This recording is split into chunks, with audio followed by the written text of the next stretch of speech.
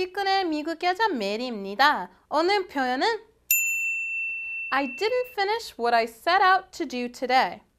I didn't finish what I set out to do today. 이거 한국말로는 나 오늘 할 일이 다 못 끝냈다. So, finish는 끝내다. What I set out to do. 내가 뭐 하려고 하는 일이.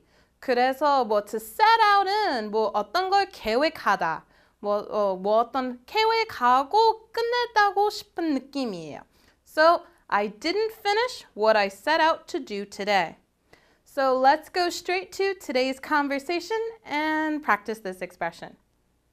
So, oh dear, 어머, I didn't finish everything I set out to do today.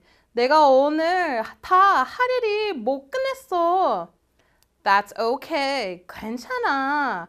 It doesn't need to be finished until Friday. 그거 금요일까지야. Let's go over this one more time. Oh dear.